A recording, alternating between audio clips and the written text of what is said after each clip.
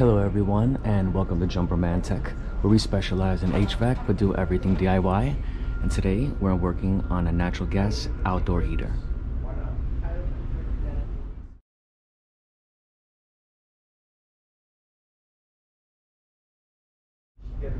Thank you to everyone tuning in to Jumperman Tech. So let's see what we got here. I know that this system runs on 24 volts as I can see here and you can also see on the diagram. And what they did here I know in the past that they put one transformer for both these units and both these are gone. So that's my suspicion. This works off a light switch. The light um, a regular switch it actually energizes a transformer and that sends 24 volts here and that's why we have nothing we have no coil nothing at all. So there's no voltage here we don't have 24 volts we lost it. So i need to find that transformer. The engineer said there's one transformer for both these units and it's somewhere in the ceiling. So let's go find that. So transformers in this ceiling he said.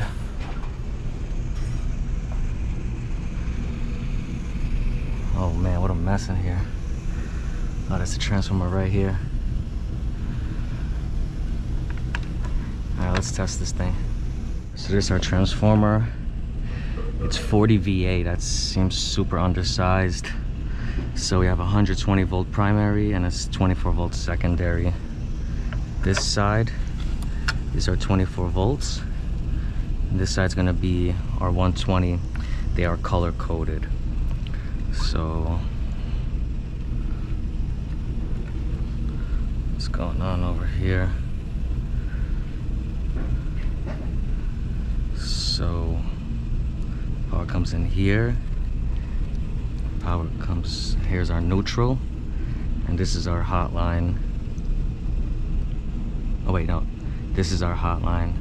And this is our neutral.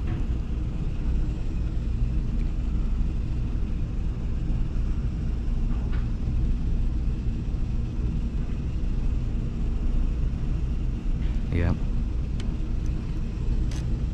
So let's see if we have 120 over there. Meter to volts.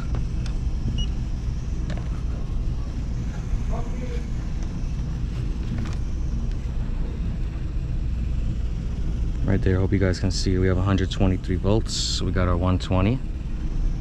So the switch is working and it's sending the voltage across. So we know that's good. Let's close this up. I don't want to short anything out.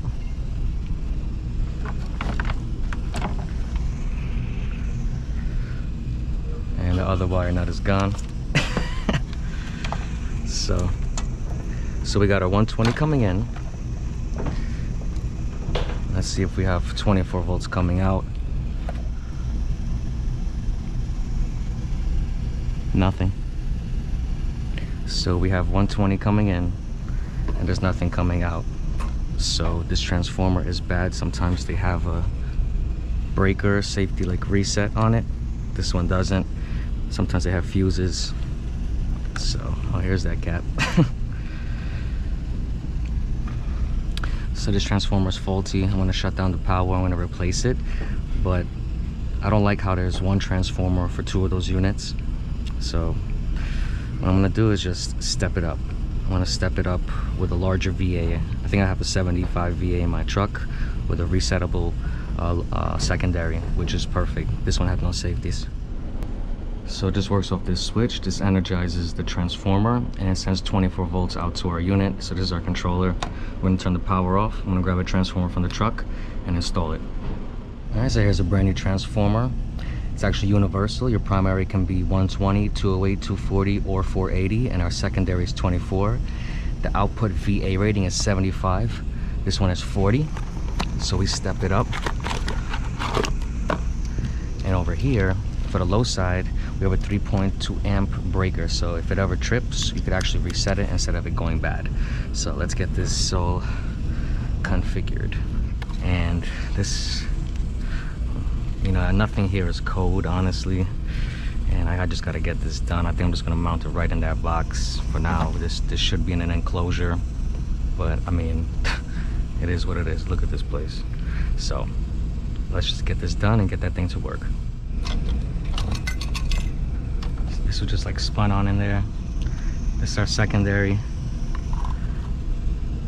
All right, so we got a ground, neutral, and a hotline.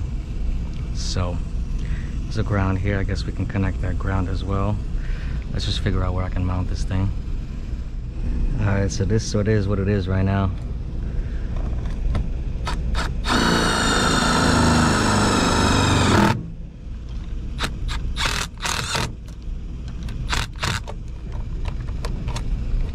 So let's mount that in there and call it a day. All right, so here's our primary and here's our secondary. This is just 24 volts, but we have a bunch of wires here.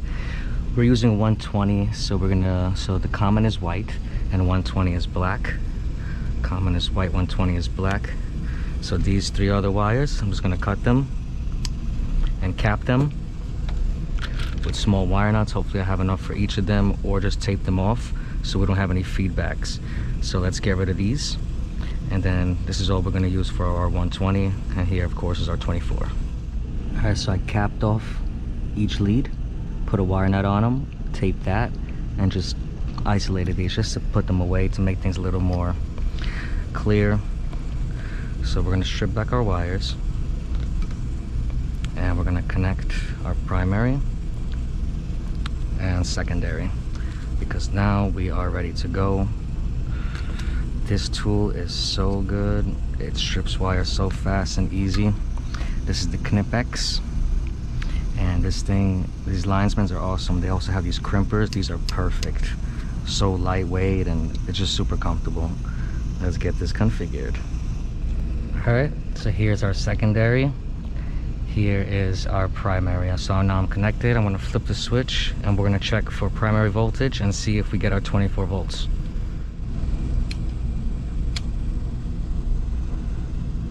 okay so our secondary actually tripped.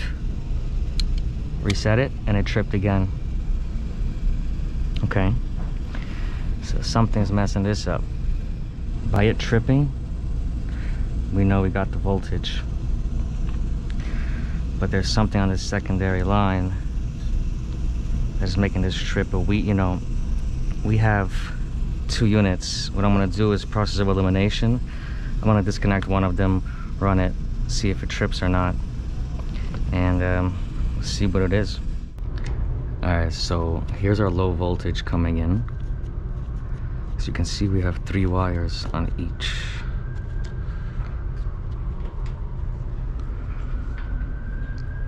Gonna disconnect one of the heaters.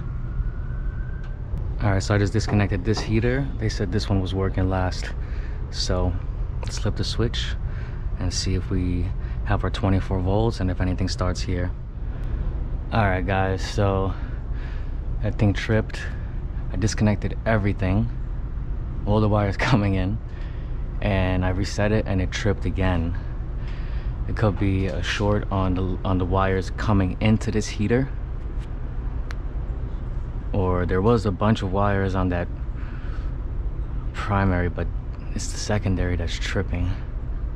If that if that thing is tripping and nothing is connected to it it's got to be a short on that line. It just trips right away. So everything was disconnected right now. And it trips.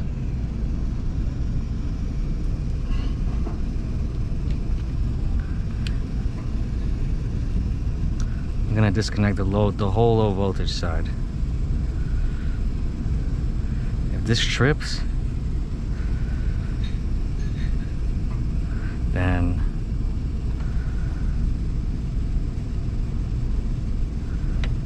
I know all the wires are disconnected. It has to be the lines coming in, but let me just see if this trips like this. It doesn't trip. Okay, so I just figured it out. So I disconnected all the wires leading up to the two units. So this trips while it's not even connected to any of the units. So that's telling me there's a short in these lines. somewhere there's a short. And from here up to the units. As far as the units themselves they could have issues as well. But I cannot know until I get my 24 volts over there. So the issue is from here to those units. Hopefully I can see something here right now. But if not I'm gonna say these lines gotta be replaced. And come on look at this. This looks like these wires are so small. This this this isn't this can't be right. This cannot be right. So it only trips when these wires are connected. Got a short low voltage short. Just tracing out these wires and look what I found.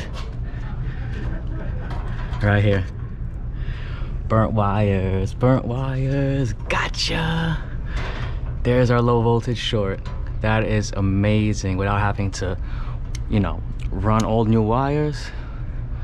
This is a miracle. Let's see what happens when I repair these wires.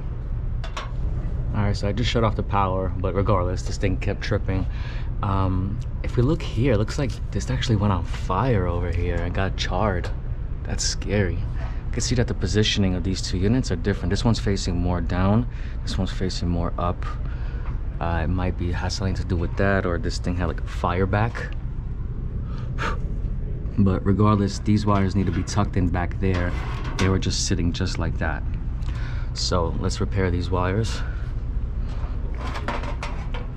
And get this back up. Start right there. All right so i still have everything disconnected coming from the transformer is going to lead in here. So i don't want because there could be other shorts here but right now i'm going to turn on the power and let's see if we have our steady 24 volts. All right. Fix these two wires splice them. Tell me we got 24 volts baby. Right there. See that? We got 26.3 volts. We got our 24 volts it's steady that means our transformer didn't trip. This was the problem. I still have these wires disconnected. So i want to connect these units and flip the switch again see if it starts and we should be all right from here. The wires are now paired. I tucked them away back there. Everything is now wired. Let's flip the switch and see what happens. All right you guys can see the little blue flame. This thing is all getting hot. This is great. Got heat in this one. Let's see what's going on with the other. All right we got a pilot on the other side too. This whole thing is getting hot. So this one is good and that one is good. So we had a bad transformer and that was caused by a low voltage short and the low voltage short was caused by those burnt wires if anybody found this video interesting or helpful please drop a like comment and subscribe. And i'll catch you all next time